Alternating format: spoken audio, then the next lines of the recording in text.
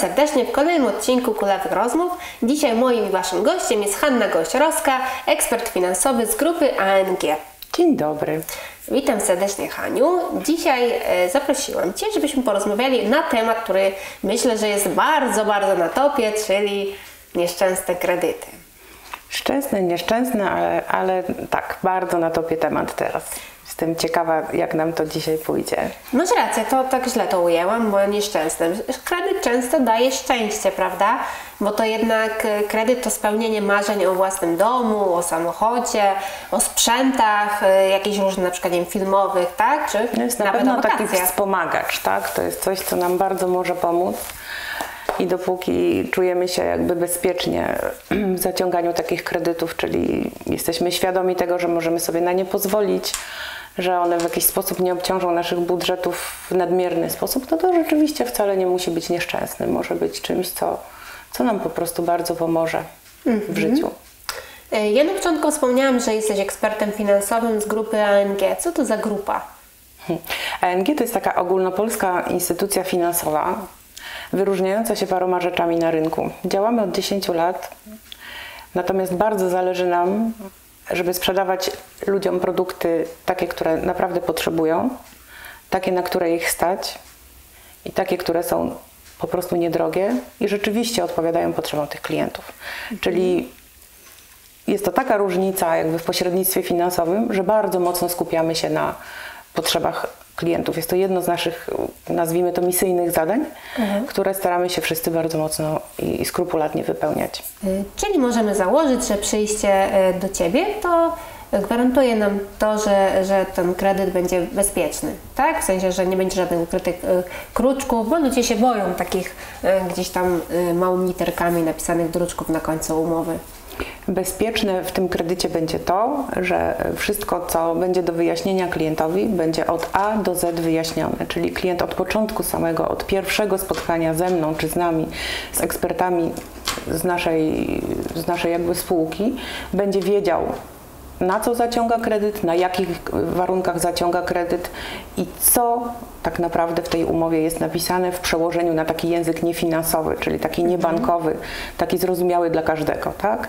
Natomiast za bezpieczeństwo ceny tego kredytu nie do końca odpowiadamy my, żeby nie powiedzieć, że w ogóle za to nie odpowiadamy. Odpowiada zupełnie ktoś inny. E, I to bezpieczeństwo gdzieś na etapie kredytu długofalowego, szczególnie jeżeli mówimy o, kredyt, o kredytach na mieszkanie, może być tutaj zachwiane. A na co najbardziej zwracać uwagę właśnie przy wyborze kredytu? Bo często na przykład są takie sytuacje, że ludzie się zastanawiają na przykład nad zmiennymi ratami albo nad stałymi ratami. Jaka jest różnica? Wiesz, to jest w ogóle bardzo wiele aspektów, na które trzeba zwrócić uwagę wybierając kredyt. I nie ma takiej jednorazowej odpowiedzi, takiej jednoznacznej odpowiedzi, co dla kogo będzie e, ważnym aspektem. Bo czasem jest tak, że jeden klient e, będzie chciał mieć kredyt jak najtańszy w znaczeniu jakby globalnym, czyli w tym znaczeniu tych wszystkich lat, e, na które ten kredyt zaciąga, tak? Czyli załóżmy, że zaciąga kredyt na 20 lat, to będzie chciał, żeby ten kredyt w tym 20-letnim okresie był możliwie jak najtańszy, czyli miał szacunkowy, całkowity koszt najniższy. A innemu klientowi dużo bardziej będzie odpowiadała sytuacja, w którym będzie najniższa rata, ale kredyt jakby w, całym, w całej rozciągłości swojego y, czasokresu będzie kredytem droższym, tak? Jeszcze inna osoba, dla niej ważne będzie, żeby pozostać we własnym banku bez względu na cenę tego kredytu. I mimo tego, że pokażesz oferty najtańsze, to ta oferta związana ze, sw- ta osoba związana ze swoim bankiem e, przez y, wiele, wiele lat, uproduktowiona w tym banku, czyli mająca wiele, mająca nawet, nie wiem, własnego doradcę w tym banku, posiadająca jakieś tam depozyty, co dzisiaj jest też dziwne i, i, i trudne posiadać depozyty w banku i, i, mieć z tego y, jakąś tam radość. Nie będzie chciała po prostu przejść do innego banku, tylko będzie chciała zostać w swoim banku, tak? I dla niej nie będą ważne to, czy będzie rata droższa 30 zł, 50 zł, 100 zł, tylko to, że ten kredyt bierze w swoim zaufanym banku u swojego zaufanego doradcy. Także jest bardzo wiele aspektów, na które musimy zwrócić uwagę, zaciągając kredyt i to nasza rola jako ekspertów finansowych przyjrzeć się potrzebom tego klienta, zauważyć te potrzeby klienta, wyłuskać je z, tego, e, z tej rozmowy i dopasować, jakby, jakby uszyć na miarę, mówiąc jakby tutaj Mhm. przysłowiowo, te oferty dla tego klienta.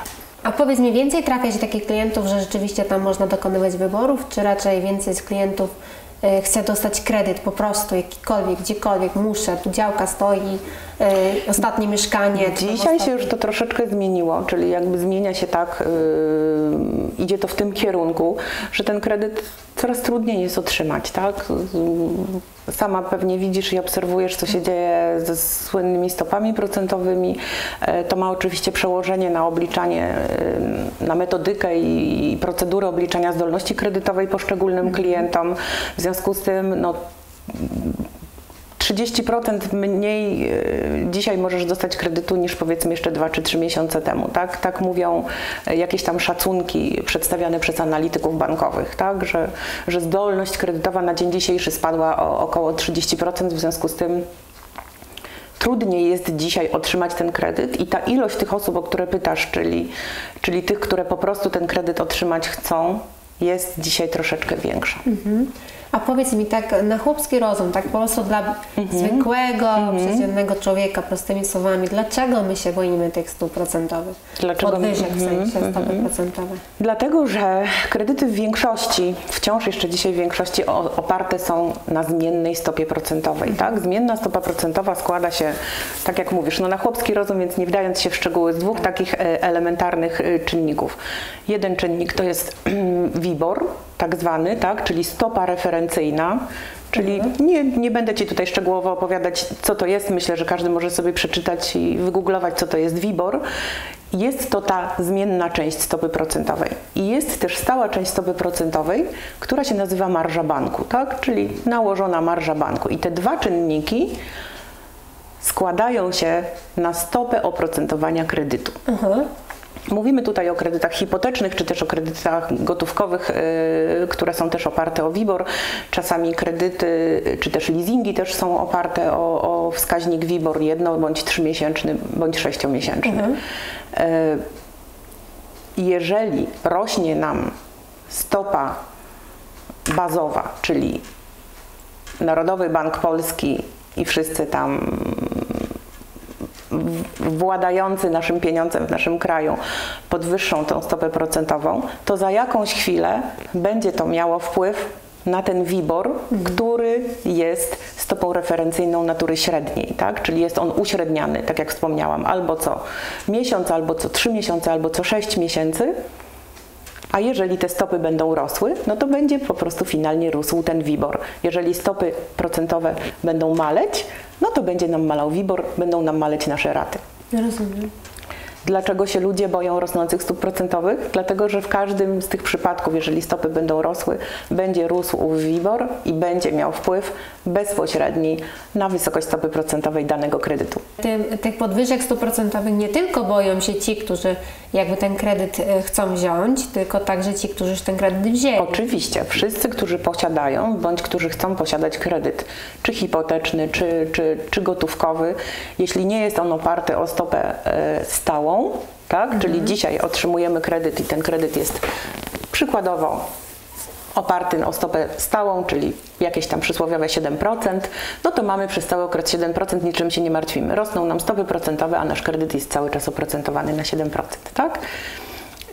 Jeżeli mamy stopę zmienną, to istnieje ryzyko podwyżki stopy procentowej i zwyżki naszej raty, ale też istnieje tutaj możliwość, że te stopy za chwilę zostaną z jakichś tam przyczyn Obniżone. obniżone. Na przykład spadnie nam inflacja, proszę pani, do zera, albo nam albo nam, Deflacja. albo się stanie obiecywana przez ym, wspomnianych tutaj wło- Włodarzy. włodarzy pieniądzem naszym deflacja i co? I będziemy mieć ujemne stopy procentowe i, i co wtedy trzeba będzie jeszcze trzeba Obniżać będzie ratę. tak obniżać ratę i będzie ona za niska, wszyscy będziemy wtedy zadowoleni. Ale przychodzę do Ciebie na przykład wziąć kredyt na, na dom, tak? Wiadomo, teraz wszyscy się chcą budować, każdy chce mieć kawałek swojego, e, swojej, kawałek swojej ziemi, tak? No i e, co doradzasz? Wziąć te raty zmienne czy stałe? I widzisz, tu dochodzimy do sedna sprawy. y, Zapytałaś mnie, co doradzam. No tak. ja nie mam możliwości doradzenia i wzięcia na siebie odpowiedzialności za swoje doradztwo, tak? Ja mam obowiązek, tak jak już wspomniałyśmy na początku, przedstawić możliwie najlepiej dopasowaną ofertę kredytu dla Ciebie na podstawie uzyskanych od Ciebie informacji, pokazać Ci, czym te oferty się różnią i jakie ryzyko albo jego brak generują, a to Ty masz dokonać wyboru na podstawie tego, co ja Ci przedstawię, tak? To ma być Twój własny wybór, czy będziesz chciała podjąć ryzyko, czy nie, a ja mam Cię tylko naprowadzić. Ty sama musisz wiedzieć, jakie ryzyko chcesz podjąć albo jakiego ryzyka nie chcesz Mhm. podejmować, tak? Myślę, że to jest bardzo dobra e, sytuacja, dlatego że to wymusza na mnie, żebym ja rzeczywiście świadomie, Świadomie, się we, zapoznała z tym dokładnie, dokładnie tak. E, Żeby to nie był przypadek. Dokładnie rzeczywiście jest tak, że jak ktoś doradza, to tak trochę ściąga ze mnie odpowiedzialność, ja potem jestem zdziwiona, a tu jednak jest coś takiego, że ja muszę sama w swojej głowie to przeanalizować, Mhm, czy ja to chcę wziąć, czy nie. Dokładnie tak. To jest bardzo ciekawe właśnie, e, na co ludzie e, potrafią brać kredyty, prawda? Bo tak wszyscy zawsze mówimy, że domy, domy i samochody, ale tak naprawdę zdarza się, że ludzie biorą kredyt na wakacje, tak? Ja zawsze mam takie poczucie, że myślę, kurczę, jak można wziąć kredyt, żeby pojechać gdzieś na dwa tygodnie, tak? I potem go spłacać e, cały rok. Jak ty uważasz w ogóle? Czy kredyty to jest taki raczej taka pomoc w życiu, czy coś, czego raczej trzeba tak e, rozsądnie bardzo korzystać? Wiesz co, teraz y, jeżeli pytasz mnie jako, jako eksperta finansowego, to ta odpowiedź będzie troszeczkę inna niż gdybyś mnie zapytała, co ja na ten temat sądzę osobiście, tak? Bo osobiście uważam, e, że że są rzeczy, jeśli na, na pewne rzeczy mnie nie stać, to ja po prostu ich nie kupuję. Do takich rzeczy dla mnie też należą wakacje, tak? Wydaje mi się, że e, jeżeli nie stać mnie na odłożenie w ciągu roku pieniędzy na wakacje, to może się też okazać, że nie będzie mnie stać na spłatę tego kredytu na te wakacje, tak? To trzeba bardzo mocno sobie w jakiś sposób e, gdzieś tam w głowie poukładać. A z drugiej strony może tak być, że po prostu wolę gotówkę, którą posiadam, zainwestować w coś innego, na przykład w coś, co przyniesie mi jakiś realny zysk, a za pieniądze na kredyt pojechać na wakacje, tak? Więc y, tu, wiesz, odpowiedzi może być kilka. Jako ekspert finansowy y, przedstawiam Ci te dwie y, formy do wyboru, natomiast jako osoba prywatna y, myślę, że akurat wakacje nie są y, taką rzeczą, na którą y, wzięłabym kredyt, tak? Wzięłabym kredyt bardziej na jakieś konkretne, realne spełnienie jakichś konkretnych, realnych potrzeb, takich, bez których może nie tyle nie, nie będę w stanie sobie poradzić w życiu, ale które to życie mi ułatwią, tak? No nie wiem, zepsuje mi się odkurzacz, no to pomyślę sobie, kupię sobie w tym momencie lepszy odkurzacz na raty, niż ten, który mi się po raz trzeci psuje, tak? Tak. To y, myślę, że w tym kierunku szłabym, jeśli chodzi o kredyty. Natomiast no na wakacje to bym sobie chyba odkładała. Starała się cały rok y, gdzieś tam ograniczać potrzeby, jakby może nie stwarzać sobie dodatkowych potrzeb, których nie, nie, nie muszę sobie stwarzać, po to, by na te wakacje odłożyć. Często ludzie mają takie zdanie, ja też je podzielam, że warto wziąć kredyt, kiedy e, to, co e, zakupisz za ten kredyt, wygeneruje Ci jakiś dochód. Tak? Bo na przykład y, y, można wziąć, ktoś ma jakieś hobby, na przykład y, fotografuje, tak? I jakby chce się przebranżowić z tego momentu, nie wiem, nie wiem, bycia urzędnikiem na właśnie bycie fotografem, wtedy inwestuje y, pieniądze w to, żeby zakupić ten sprzęt, bo on mu y, finalnie wygeneruje dochód. Tak, czyli jakby ten kredyt tak naprawdę jest na poczet inwestycji, tak? Czyli są też specjalne kredyty, które, są, które się nazywają w ogóle kredytami inwestycyjnymi, tak? To wszystko zależy od tego, w co chcemy zainwestować. To są zazwyczaj właśnie y, kredyty w kierunku y, jakby, jakby dedykowane firmom, tak? Czy, czy mniejszym firmom, czy mikrofirmom, czy, czy, czy większym, ale dedykowane jakby firmom, tak? Y, jak najbardziej. No są, jest, jest taki produkt kredytowy i ja też, jest, ja też uważam, że no, no nie zawsze mamy gotówkę na rozpoczęcie jakiejś tam e, działalności. Nie, nie, nie wszystkie działalności też są w jakiś sposób dotowane, tak? Tak. E, że możesz, nie wiem, wystąpić tam powiedzmy do, do, do, do odpowiedniego urzędu po to, żeby uzyskać jakąś dotację na rozpoczęcie tej działalności. Alternatywą dlatego będzie kredyt. Jak najbardziej i uważam, że to, to ma sens. Jeżeli wiesz i jesteś w stanie nawet w jakimś biznesplanie wcześniej e, spróbować sobie wyliczyć stopę zwrotu takiego biznesu, takiego interesu, no to wzięcie kredytu i spłacanie jakby ratami, czyli jakby spłacanie tego kredytu w postaci rat, które cię nie obciążą, bo, bo, bo za chwilę, wcześniej czy później, jakby dochód uzyskiwany z, y, dzięki tym materiałom, które zakupił, zakupiłaś na, na ten kredyt, y, pomniejszy jakby wysokość tej raty i jakby zbilansuje to, to obciążenie, tak? Także mhm. jak najbardziej. A czy jest mhm. coś, na co nie da się wziąć kredytu? Na zakup broni na pewno się nie da wziąć kredytu. Nawet jeśli tam ktoś planuje jakąś taką działalność myśliwską? Znaczy nie, no mówię tutaj o broni, masz tak, tylko i wyłącznie pozwolenie na broń i chcesz sobie kupić, nie wiem, parę karabinów okazjonalnie, na dokładnie, tak. Możesz sobie oczywiście wziąć kredyt gotówkowy i kupić to za kredyt gotówkowy, gdzie nie musisz e, bankowi opowiadać, co ty chcesz z tymi pieniędzmi zrobić, tak? mhm. tak? No, ponieważ mamy kredyty celowe tak. i mamy pożyczki niecelowe, tak? Czyli kredyty celowe to są takie, kiedy, kiedy bierzesz kredyt na samochód jakby zabezpieczeniem tego kredytu będzie zastaw na tym samochodzie na przykład. Mhm. Kredytem celowym jest oczywiście nasz słynny i myślę, że taki główny przedmiot naszej e, rozmowy kredytowej, to, czyli, czyli kredyt hipoteczny. Myślałam, że chodzi o wakacje. Nie, nie, kredyt hipoteczny. E, no na wakacje tak, no nie bierze się kredytu na wakacje, tylko bierze się kredyt gotówkowy i przeznacza się go po prostu na wakacje. Mhm. Bardzo często można zobaczyć w reklamach, y, znaczy w telewizji reklamy y, tak zwanych parabanków. Mhm. Typu tam chcesz tam gotówkę leć do bociana i tak mhm. dalej, i tak dalej. Tak, rzeczywista roczna stopa oprocentowania 200%. Właśnie, trzeba bać się takich mhm. właśnie rozwiązań.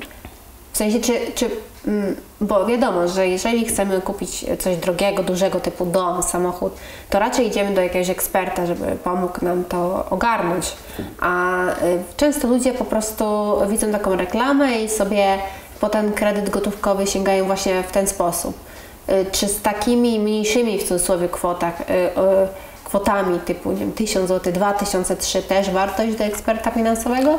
Czy raczej właśnie o... Po 2000 to możesz iść od razu do banku sama, bo to Aha. będzie kredyt, nad którym nie za bardzo trzeba się będzie zastanawiać, tak? Bo jeżeli mówisz o kredycie na 2000, bardziej jest to taka chwilówka nie? niż jakiś tam mm, kredyt. Mhm. Y, ciężko będzie nie posiadać, nie wiem, zdolności kredytowej do kredytu na 2000 i po prostu możesz, y, możesz tę sprawę załatwić w dużo prostszy sposób, czyli najpewniej przez nawet Twoją własną aplikację bankową, gdzie yy, sama sobie ten, ten kredyt gdzieś tam załatwisz poprzez aplikację bankową, tak? Czyli zawnioskujesz we własnym banku o, o kredyt na 2000 albo dostaniesz, nie wiem, jakąś linię e, mhm. w rachunku debetowym na taką kwotę albo na kwotę wyższą i będziesz mogła sobie to wykorzystać i spłacać. Więc myślę, że to e, o takich prosto kredytach do banku, nie prosto do, do banku nie ma, nie ma sensu w ogóle nie iść do bociana, bo kto idzie do bociana? Nie wiem, czy chciałabyś o tym posłuchać. Kto idzie do bociana, kto idzie do takich. Y, zazwyczaj to są, są to osoby, które mm, nie mogą otrzymać z jakichś przyczyn kredytu bankowego. Tak. Czyli coś tam się zadziało w przeszłości z historią spłaty kredytu bankowego i bank dzisiaj już nie chce nam udzielić kolejnego kredytu, tak? To wtedy posiłkujemy się takim bocianem. Natomiast stopa procentowa nasz dzisiejszy też temat e, takiego kredytu no jest dużo, dużo wyższa. Wierz mi, że naprawdę e, zdecydowanie opłaca się iść mimo wszystko do banku, tak? Do, czy do mhm. własnego, czy do jakiegokolwiek banku. Oddziałów banków jest mnóstwo. Większość dzisiaj się też załatwia przez internet takich spraw. Nawet możesz, nie wiem, masz, masz konto w banku, logujesz się na własne konto w banku i czytasz, jakie ten bank ma dla Ciebie oferty na dzień mhm. dzisiejszy. I możesz to sprawdzić albo zadzwoniąc do tego banku, albo, albo na jakąś infolinię, albo po prostu samodzielnie sobie e, wyliczyć w aplikacji e, mhm. swojego konta jaka byłaby wysokość raty, jakie będzie oprocentowanie takiego kredytu i po prostu zawnioskować od niego online. Raczej trzeba unikać y, takich parabanków, ale y, no, myślę, że nie da się powiedzieć, że stuprocentowo nigdy nie korzystać, bo czasami takie karty po prostu rozdaje los, że ludzie są Bardziej trzeba zapanować nad tym losem i spróbować, wiesz, ten los pokierować w taki sposób, żeby później nie musieć lądować w tych parabankach. nie? Wspomniałam Ci na początku, że e, ANG jako, jako pośrednik finansowy, jako organizacja e, skupia bardzo mocno swoją uwagę na tak zwanej e, odpowiedzialnej sprzedaży produktów finansowych. Czyli, nie wiem, jest takie pojęcie jak miselling, nie wiem czy słyszałaś. To jest Pierwsze właśnie tak, to miselling to jest taka właśnie sprzedaż y, produktów, byle sprzedać, nazwijmy to, Aha. tak krótko mówiąc, tak? Czyli włożymy Ci kredyt 15% albo 100% do zwrotu, y, do tego dołożymy Ci jeszcze 5 kart kredytowych, wrzucimy Ci jeszcze parę jeszcze innych rzeczy. Ty tego nie potrzebujesz, ale my na tym zarobimy i bank na tym zarobi. Więc właśnie cała filozofia sprzedaży mojej firmy, z czego jestem naprawdę bardzo, bardzo dumna i co jakby dodatkowo e, powoduje, że cieszę się, że jestem w tym miejscu, a nie w żadnym innym, bo pośredników na rynku jest bardzo wielu. E, Bardzo mocno zwraca uwagę na to, na tą antymisellingowość, czyli żeby sprzedać naszemu klientowi produkt, którego autentycznie potrzebuje na miarę jego potrzeb, I możliwości. możliwości i ceny, tak żeby go było na to stać. Tak? Więc to jest bardzo, bardzo, bardzo ważna rzecz. I wracając do, do naszych parabanków, no nie możemy tylko o, o, o parabankach powiedzieć, tak? Tak, nie no możemy tak. tego powiedzieć, dlatego no, zawsze będę Zwłaszcza, gdzieś tam tak. pewnego rodzaju wykorzystują nieszczęścia ludzkie do tego, żeby na nich zarabiać jeszcze. Zdarzają się pewnie takie, takie przypadki również. A właśnie to jest takie pytanie, no bo czy do eksperta finansowego przyjść, jak ja już, że tak powiem, szukam, znalazłam działkę ostatnia, muszę pani, ja muszę ją kupić, czy raczej zaczynam myśleć o tym, żeby kupić dom, tak? I przychodzę, żeby zapytać się, y, słuchaj Hania, czy tam pani Hani, bo wiadomo, że to tak? y, no, zastanawiam się nad e, zakupem domu, proszę bardzo, tu są moje tam wypłaty, dochody i tak dalej, i tak. E, Na co mnie stać, e, co zrobić, żeby na więcej, czy właśnie w ostatniej chwili to jest ta ostatnia działka, biorę pani. No to widzisz, no to musisz sobie na początku odpowiedzieć, jak bardzo ta ostatnia działka jest dla Ciebie tutaj wykładnikiem tego, co będziemy robić dalej. Bo cały proces starania się o kredyt i przygotowania się do tego, to nie jest kwestia, wiesz, pięciu minut, nie? Więc nie możesz podjąć decyzji, kupuję działkę, podpisuję i dopiero przystępuję, tak? Najlepiej jest najpierw się spotkać z ekspertem finansowym y, po to, żeby obliczył Twoją zdolność kredytową przynajmniej w jakiś taki wstępny y, sposób, jakby w odniesieniu powiedzmy do większości banków, tak? Żeby dać Ci zielone światło do decyzji co i kiedy i jak i za ile zakupić, tak? Więc jakby zaczynamy od tego eksperta finansowego. Mało tego, y, no pewnie y, Pewnie wielu ekspertów tak robi, ale no dla mnie bardzo ważne jest, żeby też wesprzeć tego klienta również, nie wiem, w przeczytaniu tych umów, które miałby podpisać, y, w obejrzeniu tej dokumentacji, powiedzmy, tego domu, czy tamtej czy cokolwiek tam chciałabyś kupić, tak? Obejrzeniu, sprawdzeniu, czy to jest wszystko ok, czy księga wieczysta jest w porządku, czy nie ma tam jakichś, nie wiem, obciążeń w tej księdze wieczystej, które by e, jakby w przyszłości e, spowodowały, że ty tego kredytu byś mogła nie otrzymać, tak? Czyli jakby holistyczne podejście takie do, do klienta y, od samego początku, z taką uwagą bardzo skupioną na nim i na jego potrzebie, tak?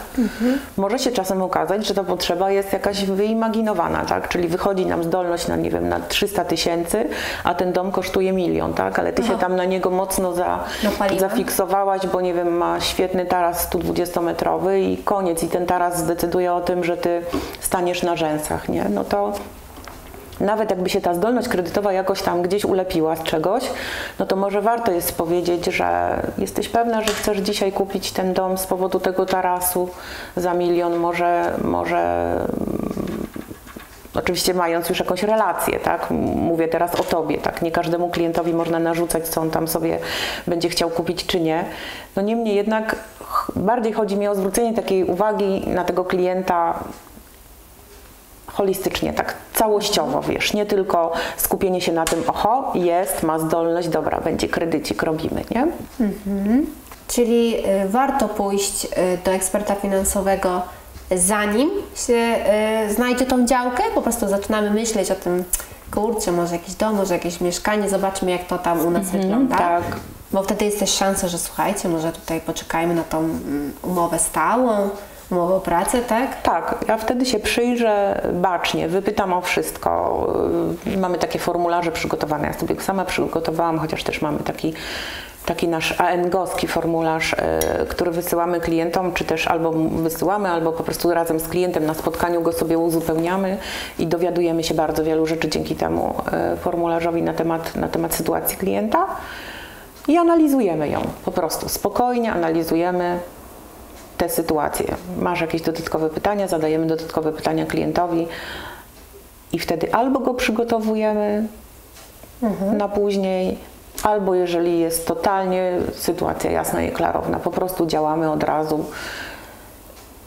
i robimy, robimy, zajmujemy się sprawą tego kredytu. Czy ekspert finansowy musi być kreatywny w ogóle? O, Wydaje mi się, że tak. Wydaje mi się, że tak, bo y, każda sytuacja i każdy klient jest inny. Każda sytuacja, naprawdę, mimo tego, że mamy, nie wiem, rynek pierwotny, rynek wtórny, budowę domu, kilka, kilka celów tak naprawdę tych mieszkaniowych, czy kilkanaście, kilkanaście, bo, bo możemy, nie wiem, refinansować yy, zakupiony za gotówkę. No jest, jest, jest masa, masa tutaj, no kilkanaście co najmniej tych, tych możliwości udzielenia kredytu konkretnie mieszkaniowego. I każda ta z tych sytuacji jest inna poprzez to, że klient jest inny, człowiek jest inny, inaczej w ogóle na to patrzy, inne ma potrzeby, tak jak Ci wspomniałam na początku. Jeden ma potrzebę, żeby kredyt był najtańszy, drugi, żeby był najkrótszy, trzeci ma potrzebę, żeby można było ten kredyt w dowolnym momencie nadpłacić albo spłacić. Żeby nie płacić za to dodatkowych prowizji, które, e, które czasami banki jeszcze, jeszcze pobierają za, za taką usługę. Tak? Każdy klient ma swoje priorytety. Musisz być kreatywna, musisz mieć otwarty umysł, żeby to wyłapać. Musisz być osobą potrafiącą słuchać, potrafiącą analizować. To jest bardzo ważna cecha u eksperta finansowego. Umiejętność analizowania od elementarnych sytuacji po jakieś tam już grubsze zawiłości, nie? Także tak, no nudnym. No, to, powiem Ci, to nie jest nudny zawód. Moim zdaniem tu jest więcej e, cech takich e, humanistycznych niż cyferkowo-matematycznych w tym zawodzie, tak? Znaczy ja przynajmniej uprawiając go już dosyć długo, e, tak uważam. I, i, i dlatego jest, jestem wciąż w tym zawodzie, bo jestem bardziej jednak humanistką niż matematykiem. Wiesz, jak obliczam z klientem zdolność kredytową albo jak obliczamy wkład własny, to ja zawsze muszę mieć kalkulator. A dlaczego zostałaś y, właśnie ekspertem finansowym? E, Dlaczego zostałam ekspertem finansowym? E, Krótko mówiąc, moja jakby cała zawodowa ścieżka to jest ścieżka związana z bankowością. No i oczywiście, tak jak w każdej korporacji czy w każdej firmie, istnieje jakaś ścieżka rozwoju. Na początku, pracując w banku i, i, i robiąc to, co robiłam, doszłam w którymś momencie do jakiejś tam ściany. Uznałam, że, że, że to już nie jest mnie w stanie dalej e, ani rozwinąć, ani w jakiś sposób usatysfakcjonować, więc zaczęłam poszukiwać jakby swojej ścieżki rozwoju samodzielnie zgłaszać się nawet do, do, do jakichś tam wydziałów samodzielnie, które poszukiwały jakiegoś tam nowego pracownika. A pracując cały czas jakby w sektorze mieszkaniowym w banku, bo kiedyś ty tego nie możesz pamiętać albo możesz spróbować pamiętać, Jestem był stara, taki twór, nazywał się Książeczka Mieszkaniowa. A moja mama miała dla mnie tak, tak, czy tam dla mojej siostry, ale to w ogóle nie Jeszcze wypłaciła. istnieje, wyobraź sobie. Tak? Mhm. Relikt przeszłości, ale jeszcze istnieje. I z tych, e, z tych książeczek mieszkaniowych wypłacane były swego czasu tak zwane premie gwarancyjne. I ja właśnie w tym wydziale e, wypłat tych premii gwarancyjnych pracowałam. Więc jakby cały czas e, wokół tego rynku mieszkaniowego gdzieś tam się obracałam, ale w którymś momencie te książeczki mieszkaniowe zaczęły być dla mnie niewystarczające. No i chciałam się rozwinąć w kierunku mieszkaniowym, ale troszeczkę pójść o krok dalej i, jakby finalnie wylądowałam w Wydziale Kredytów Hipotecznych. Yy, Prawdę powiedziawszy, to było spełnienie moich marzeń, jeśli chodzi o bankowość. Na tamten czas. Zaskakujące. Tak, to było spełnienie moich marzeń, ponieważ y, bardzo chciałam pracować przy tym produkcie i dopięłam swego, zaczęłam pracować przy tym produkcie. No a później jakby po skończeniu pracy w banku jako, jako instytucji Zachciało mi się robić nadal to samo, tylko że już bardziej e, krok dalej, czyli nie jeden bank, a, a wiele banków. A to jest tak, że ty byłaś po prostu po jednej stronie barykady, a teraz jesteś po drugiej stronie barykady? Można tak powiedzieć, chociaż nie do końca, ponieważ ja nadal jestem partnerem banku w tej chwili, tak?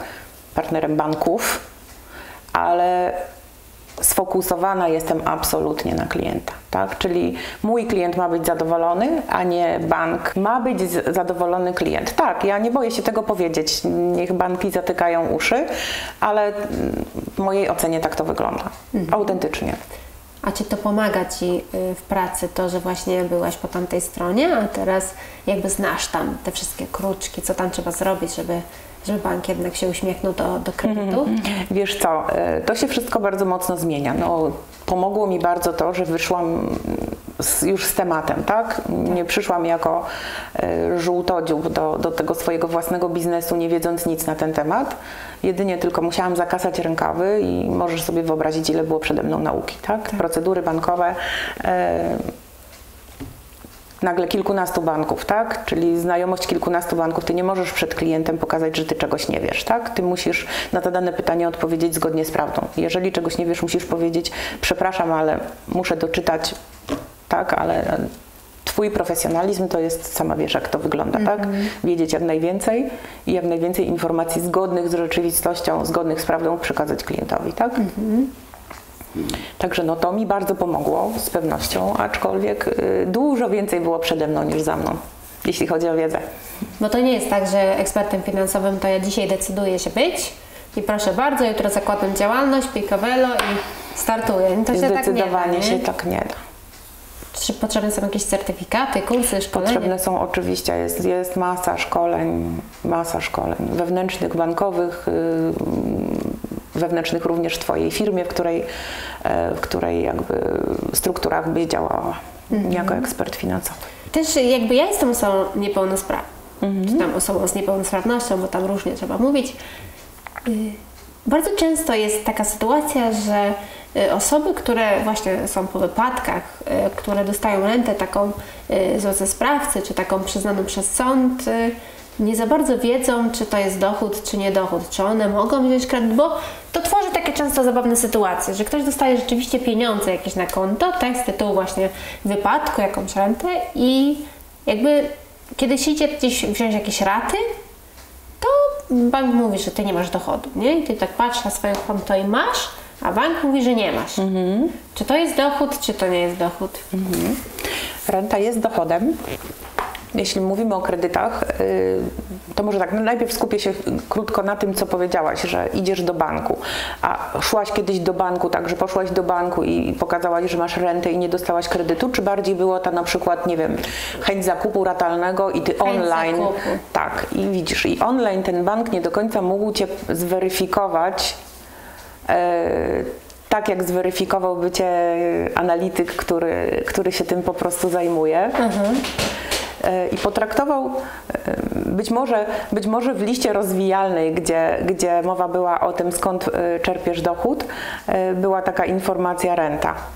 Jeżeli ty wpisałaś tę rentę, nawet jeżeli ona była, nie wiem, w wystarczającej kwocie, to dla tego banku nie było informacją, czy to jest renta stała, czy to jest renta czasowa. I on jakby z, jakby z punktu takiego ryzyka kredytowego, ryzyka udzielenia ci tego kredytu, po mhm. prostu postanowił ci odmówić tego kredytu, tak?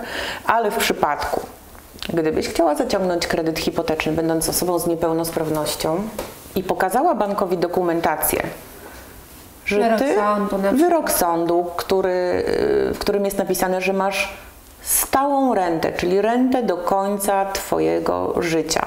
Oprócz tego pokazałabyś, że to nie jest tak, że Ty żyjesz tylko z tej renty, ale też masz jakiś inny dochód, tak? Jesteś osobą pracującą, chociaż to też nie jest czynnik jakby konieczny. Tu zanalizowałby Cię człowiek pod kątem po pierwsze wysokości tej renty, stwierdzenia, że rzeczywiście jest napisane, że jest to renta stała, czyli nikt tej renty Ci nie może zabrać, jest ona po prostu Twoim dochodem, nie chciałabyś tego dochodu, wolałabyś inny, mm. Ale jest ona Twoim dochodem i Ty ten kredyt po prostu dostaniesz. Nie ma czegoś takiego, że osoby z niepełnosprawnościami posiadającymi, posiadające stały dochód, bez względu na to, z czego on wynika, to musi być stały dochód. są traktowane inaczej niż osoby zdrowe czy, czy, czy osoby sprawne. A y, co z ubezpieczeniem? Bo wiadomo, że my z osoby z niepełnosprawnościami często mamy jakieś dodatkowe dolegliwości. Czy to nas nie wyklucza? Nie, nie. Są, są pewnego rodzaju wyłączenia, ale y, ubezpieczenie takiego kredytu, bo rozumiem, że mówisz o ubezpieczeniu Tak, na tak, życie, tak. Mhm. tak? No, wiesz, osoba sp- sprawna i osoba z niepełnosprawnością może um, umrzeć jutro na to samo, tak? To nie musi być powodem tej y, śmierci nie musi być twoja niepełnosprawność, tak? Czyli cokolwiek, tak? Choroba, nie będziemy tutaj wymieniać możliwości, ale wiesz o tym, że nie tylko, nie tylko to może być powodem, tak? Więc jak najbardziej są jakieś tam wyłączenia, ale taki kredyt będzie podlegał ubezpieczeniu na życie. Czy koszt takiego kredytu będzie większy niż u osoby sprawnej? Absolutnie nie. Będzie to taki sam koszt, będzie to taki sam kredyt, jak otrzymałaby osoba sprawna. I mimo wszystko mogę dostać kredyt na 50 lat na przykład, czy Na to 50 wtedy lat dzisiaj, e, dzisiaj nikt nie powinien już udzielać takich kredytów, bo to jest właśnie troszeczkę ten mis-selling, to już jest troszeczkę dla mnie przynajmniej, dla mnie osobiście, to jest, e, to jest za długi okres kredytowania. Jeżeli Ty masz w tej chwili, e, powiedzmy, że masz 30 lat, to za 50 lat będziesz miała 80. Czy uważasz, że ja będę mogła na przykład stanąć w lustrze i popatrzeć na siebie e, w jakiś sposób sprzedając Ci kredyt na 50 lat? wiedząc, że będziesz miała za 50 e, lat ratę 1380 zł, a emerytury 1290? No nie. To taki jest oczywiście też przykład luźny, tak? Ale no, dla mnie kredyt na 50 lat, zawsze staram się klientowi powiedzieć, że zdolność mamy na 30 lat, ale ma Pan też zdolność na 20 i na 25 lat, tak? Proszę pomyśleć, czy nie chciałby Pan Szybciej tego szybciej spłacić. tego spłacić, krótszego okresu kredytowania, może rata będzie wyższa, ale ogólnie koszt tego kredytu będzie niższy, czyli jakby wiele znaków na, na niebie i na ziemi wskazuje, że im krócej, tym lepiej. W dzisiejszych czasach to już w ogóle, nie? Czy istnieją jakieś takie narzędzia od państwa albo od jakiejś instytucji, które wspomagają ten kredyt? No, pamiętam, że kiedyś były takie programy typu mieszkania dla młodych, y, coś w tym rodzaju. Czy jest coś takiego jeszcze na rynku, z czego można korzystać? W tej chwili te programy, które wspomniałaś, tam był kiedyś Rodzina na swoim, Mieszkanie na młodych, jeden, e, jeden program e, do, dopłacał do wkładu własnego, drugi do odsetek. One zostały jakby wygaszone, tak? To były takie, nazwijmy to, mm, a, chyba nawet nie wiem, czy bym chciała się tam wdawać yy, w jakieś szczegółowe analizy, po co te programy były, bo te kredyty wcale nie były przez to często jakby tańsze rzeczywiście dla tego klienta, bo tam ktoś dostał dopłatę do odsetek, ale musiał mieć, miał wyższą marżę tego kredytu. Zostawmy to, tych programów jakby już nie ma. Natomiast w tej chwili Mówimy o takich polski uczciwych. rząd przygotowuje się do takiego wsparcia kredytobiorców pod tytułem e, e, kredyt bez wkładu własnego. Za chwileczkę będziemy, będziemy, będziemy w to wchodzić. Krótko mówiąc, będzie można w niektórych bankach, tych, które do tego programu przystąpią, wziąć kredyt bez wkładu własnego, a ten wkład własny, e, który, który powinien zostać wniesiony, będzie, będzie jakby nazwijmy to, zapłacony przez Bank Gospodarstwa Krajowego. O szczegółach to za chwilę, generalnie 27 maja ma, ma ten program wejść. E, Zobaczymy, jak to będzie wyglądało w praktyce. Ja przyznam się szczerze, że może nie powinnam tego mówić w tej chwili głośno, ale jestem odrobinę nieufna co do działań. Co do działań rządu w kierunku kredytobiorców w tej chwili i muszę się naprawdę ze szczegółami, szczegółowo zapoznać z czymś, żeby stwierdzić, czy to jest finalnie dla klienta dobre, czy, czy tylko jakby uśmierza jakiś tam ból. Myślę, że w ogóle należy podchodzić z nieufnością w takich tematach, dlatego że to są tak skomplikowane procedury, że często tak naprawdę lata potrzebne są, żeby y, prawidłowo jakoś sformułować pewne reguły, regulaminy, statuty i właśnie umowy, prawda? Wiesz co, no właśnie taka rola eksperta finansowego jest, nie? Żeby spowodować, że ten, ten klient zaufa. Przynajmniej tam w, jakiejś, e, w jakimś stopniu, tak? Że on zaufa, że, że będzie miał to wszystko na tyle wyjaśnione, na, na ile trzeba to wyjaśnić, tak? Bo jest masa zapisów umowy, które, których nie możesz w żaden sposób negocjować. Są to umowy przygotowane przez prawników i bardziej ważne jest, żeby klient je zrozumiał i przyjął do wiadomości, niż, niż podpisał taką umowę y, nieświadomie, nie?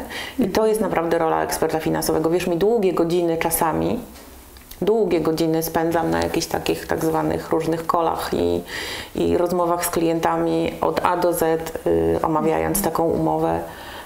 y, Zostawiając później jeszcze klienta na kilka dni y, z tą umową, żeby sobie jeszcze dodatkowo to spróbował przyswoić, zrozumieć i, i w razie czego ciągle, ciągle pytał. Mało tego, ten klient już dawno tą umowę podpisał w banku, już ma ten kredyt 5 lat, ale on zawsze może do mnie zadzwonić i, i zapytać się, bo, bo, bo są tam jakieś przyszłościowe, nazwijmy to, paragrafy w tej umowie, czyli rzeczy, które trzeba będzie później gdzieś tam załatwić, później dokonać, tak? Zawsze ten klient wie, że mimo tego, że już dawno nawet nie pamiętamy, jak wyglądamy, to on może do mnie zadzwonić i e, przypomnieć się i dopytać jeszcze. Chciałabym tak podsumować e, właśnie naszą rozmowę w ten sposób.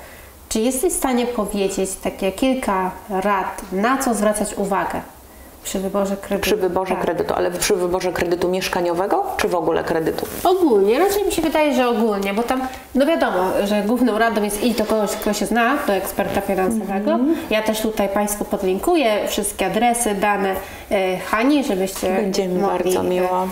E, jakby skorzystać z Hani usług. E, bo myślę, że tutaj Hania udowodniła, że, że warto. E, ale właśnie tak, żeby po prostu podsumować, żeby na coś nie dać namówić, o, w ten Mhm. sposób. No więc no, takimi najważniejszymi rzeczami to przy wyborze kredytu długoterminowego, długoterminowego, czyli takiego, który jakby finalnie jest kredytem drogim, ale, ale no niezwykle ważnym, bo, bo, bo załatwiającym często podstawowe jakby życiowe potrzeby, takie jak mieszkanie. Jest to na pewno szacunkowy, całkowity koszt kredytu, Oprocentowanie tego kredytu, czyli wysokość, wysokość oprocentowania, na który składa się ten nasz słynny już omawiany WIBOR plus ta marża. Czyli dobrze jest, żeby ta marża była możliwie jak najniższa, bo ona zawsze będzie wtedy oprocentowanie, im marża będzie niższa, tym oprocentowanie zawsze będzie niższe. Musimy zwracać uwagę też na y, takie produkty okołokredytowe, tak? bo często jest tak, że banki chcą nas ze sobą związać nie tylko tym kredytem, ale oferują nam w zamian za dobre oprocentowanie, które nam gdzieś tam dadzą, yy, konieczność przystąpienia do innych produktów bankowych. Więc musimy się skupić na tym, czy my rzeczywiście tych produktów potrzebujemy, czy ważniejsze są dla nas yy, jakby w tym momencie te matematyczne warunki tego kredytu, czy my chcemy, nie wiem, posiadać konto przez cały okres kredytowania, czy, czy chcemy przekazywać temu, a nie innemu bankowi swoje y, pobory, dochody co miesiąc y, na konto, czy my chcemy mieć kartę kredytową, czy my chcemy mieć, y, nie wiem, ubezpieczenie od utraty pracy, hospitalizacji, ubezpieczenie na życie. Na to wszystko trzeba zwracać uwagę. Tylko, że to jest bardzo trudne, żeby samemu tak naprawdę dokonać tego wyboru, więc na to trzeba zwrócić uwagę, ale ja cały czas podkreślam, bardzo ważne jest, żeby mieć swojego zaufanego eksperta finansowego w takim momencie.